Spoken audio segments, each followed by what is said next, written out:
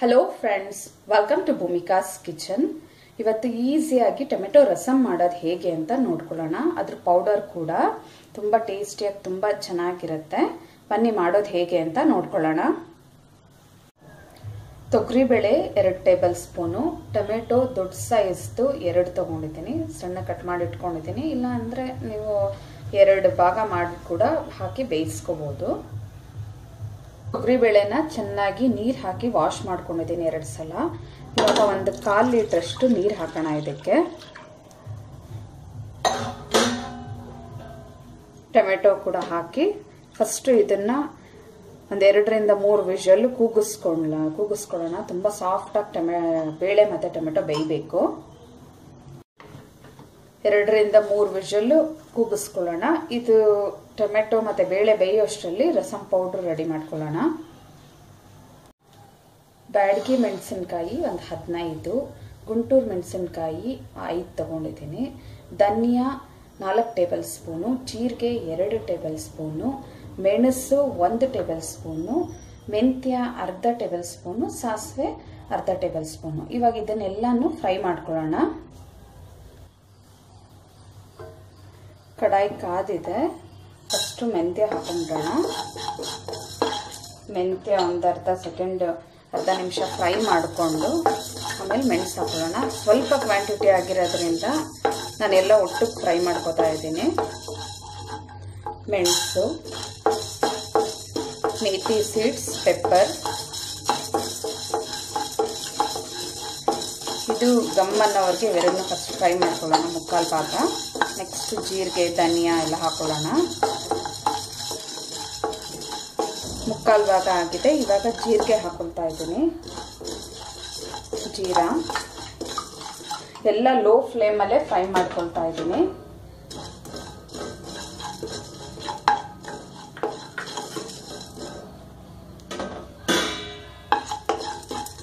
ಸಾಸಿವೆ ಮಸ್ಟರ್ಡ್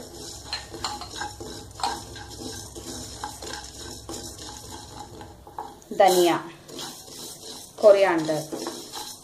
ಎಲ್ಲ ಗಮ್ಮನ್ನವರೆಗೂ ಹುರ್ಕೊಳ್ಳೋಣ.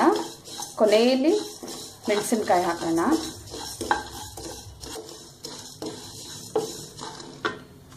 ಮೆಣಸಿನ್ಕಾಯಿ, ಚಿಲ್ಲಿ.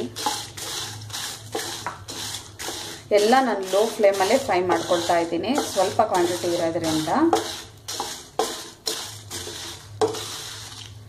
ಕಂಪ್ಲೀಟ್ ತಣ್ಣಗಾದ ಮೇಲೆ ಮಿಕ್ಸರ್ ಜಾರ್ಗೆ ಹಾಕೊಂಡು ನೈಸಾಗಿ ಪೌಡ್ರ್ ಮಾಡ್ಕೊಳ್ಳೋಣ. ಹುರಿದಿಟ್ಟಿದ್ದೆಲ್ಲ ಸಾಮಾನುಗಳನ್ನು ಮಿಕ್ಸರ್ ಜಾರ್ ಒಳಗಡೆ ಹಾಕಿ ನೈಸ್ ಪೌಡರ್ ಮಾಡ್ಕೊಂಡಿದ್ದೀನಿ.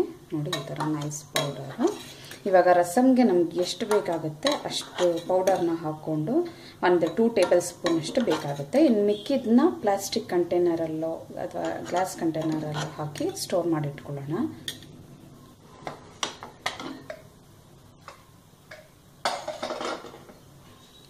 ಬೇಳೆ, ಟೊಮೆಟೊ ಚೆನ್ನಾಗಿ ಬೇಯಿಸ್ಕೊಂಡಿದ್ದೀನಿ. ಇವಾಗ ಚೆನ್ನಾಗಿ ನಾವು ಮಜ್ಜಿಗೆ ಏನು ಮಂತಾಡ್ತೀವಲ್ಲ ಅದರಲ್ಲಿ ಮಂತಾಡ್ಕೊಂಡ್ರೋಣ ಚೆನ್ನಾಗಿ ಸ್ಮ್ಯಾಶ್ ಮಾಡ್ಕೋಬೇಕು.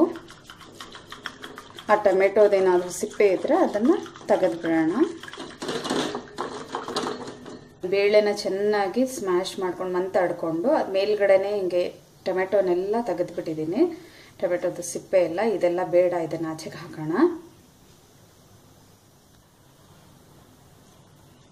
ಸ್ಟವ್ ಆನ್ ಮಾಡಿಕೊಂಡು ಕಡಾಯಿ ಇಟ್ಕೊಂಡು ಅದರೊಳಗಡೆ ಎರಡು ಟೇಬಲ್ ಸ್ಪೂನ್ ಎಣ್ಣೆ ಹಾಕ್ಕೊಂಡಿದ್ದೀನಿ ಎಣ್ಣೆ ಕಾದಿದೆ.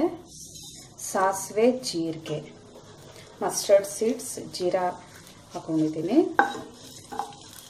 ಅರ್ಧ ಟೀ ಸ್ಪೂನಷ್ಟು ಸಾಸಿವೆ, ಜೀರಿಗೆ, ಒಂದು ಟೀ ಸ್ಪೂನಷ್ಟು ಹಾಕಿದ್ದೀನಿ. ಇದು ಸಿಡಿದಿದ್ದ ಹಾಗೆ, ಬೆಳ್ಳುಳ್ಳಿ ಹಾಕೊಳ್ಳೋಣ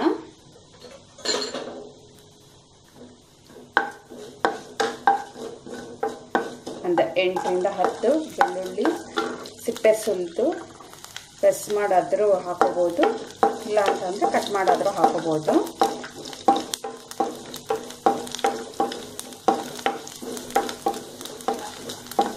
ಗಾರ್ಲಿಕ್.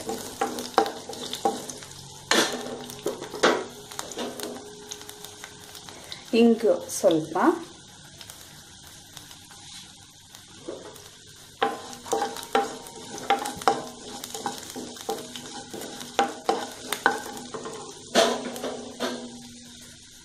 ಕರಿ ಲೀವ್ಸ್, ಕರ್ಬೇವಿನ ಸೊಪ್ಪು, ಎರಡು ಗರಿ.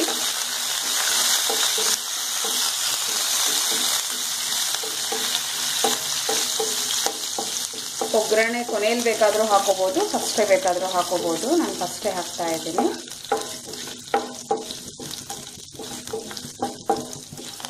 ಇವಾಗ ನಾವು ಏನು ಮಂತಾಗಿ ಇಟ್ಕೊಂಡಿದ್ವಲ್ಲ, ಬೇಳೆ ಮತ್ತು ಟೊಮೆಟೊದು ನೀರು ಅದನ್ನು ಹಾಕೊಳ್ತಾ ಇದ್ದೀನಿ ಇವಾಗ.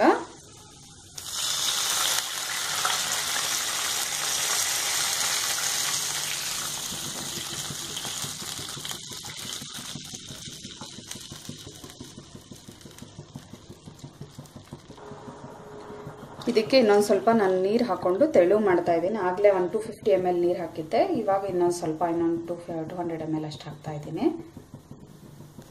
ಇದಕ್ಕೆ ರಸಂ ಪೌಡರ್ ಹಾಕೊಳ್ತಾ ಇದ್ದೀನಿ. ಒಂದು ಟೂ ಟೇಬಲ್ ಸ್ಪೂನ್ ಅಷ್ಟು ಹಾಕೊಂಡಿದ್ದೀನಿ ಫಸ್ಟು ಖಾರ ನೋಡಿಕೊಂಡು ಹಾಕೊಳ್ಳೋಣ. ಚೆನ್ನಾಗಿ ಮಿಕ್ಸ್ ಮಾಡ್ಕೊಳ್ಳೋಣ ಇದನ್ನು. ಎಲ್ಲ ಒಂದು ಅರ್ಧ ಟೇಬಲ್ ಸ್ಪೂನ್ ಅಷ್ಟು. ಅದು ಹಾಕೋದ್ರಿಂದ ಒಳ್ಳೆ ಟೇಸ್ಟ್ ಬರುತ್ತೆ ಜಾಗ್ರಿ. ಹುಣಸೆ ಹಣ್ಣಿನ ರಸ. ನಾವಿಲ್ಲಿ ಜಾಮ್ ಟೊಮೆಟೊ ಯೂಸ್ ಮಾಡಿರೋದ್ರಿಂದ ಹುಳಿ ಸ್ವಲ್ಪ ಬೇಕಾಗುತ್ತೆ. ಅದಕ್ಕೆ ಒಂದು ಗೋಲಿ ಗಾತ್ರದ ಹುಣಸೆ ಹಣ್ಣ ನೆನೆಸಿಟ್ಕೊಂಡು ಅದನ್ನ ಸ್ವಲ್ಪ ಹಾಕೊಳ್ತಾ ಇದ್ದೀನಿ. ನೋಡಿಕೊಂಡು ಹುಳಿನ ಇನ್ನೊಂದು ಸ್ವಲ್ಪ ಆಮೇಲೆ ಹಾಕೊಳ್ಳೋಣ. Tamarind juice two to three table spoon ರುಚಿಗೆ ತಕ್ಕಷ್ಟು ಉಪ್ಪು ಹಾಕೊಳ್ಳೋಣ. ರುಚಿಗೆ ತಕ್ಕಷ್ಟು ಉಪ್ಪು ಸಾಲ್ಟ್ ಫಾರ್ ಟೇಸ್ಟ್ ಚೆನ್ನಾಗಿ ಕುದಿಯೋದಕ್ಕೆ ಬಿಡೋಣ ಇವಾಗ. ಕೋರಿಯಾಂಡರ್ ಲೀವ್ಸ್ ಕೊತ್ತಂಬರಿ ಸೊಪ್ಪು. ಇವಾಗ ಒಂದು ಐದರಿಂದ ಹತ್ತು ನಿಮಿಷ ಚೆನ್ನಾಗಿ ಕುದಿಸ್ಕೊಳ್ಳೋಣ ಇದನ್ನು. ರಸಮ್ ರೆಡಿ ಇದೆ. ಚೆನ್ನಾಗಿ ಕುದಿಬೇಕು ಅಷ್ಟೇ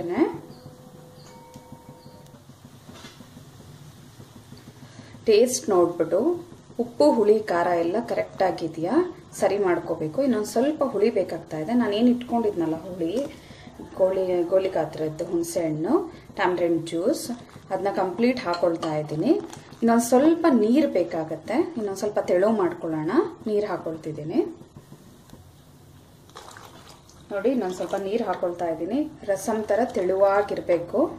ತುಂಬ ತೆಳುವಾಗಿ ಉಪ್ಪು, ಹುಳಿ, ಖಾರನೂ ಕೂಡ ಅದಕ್ಕೆ ತಕ್ಕ ಹಾಗೆ ಹಾಕೋಬೇಕು. ರಸಮ್ ಪೌಡರ್ ಇನ್ನೂ ಮಿಕ್ಕಿದೆ. ಸೊ ಖಾರ, ನಾನು ಇದು ಇಷ್ಟು ಮಾಡಿರೋದಕ್ಕೆ ಸಾಕಾಗಿದೆ. ನಿಮ್ಮ ಟೇಸ್ಟ್ಗೆ ಹೇಗೆ ಬೇಕೋ ಹಾಗೆ ಹಾಕ್ಕೊಳ್ಳಿ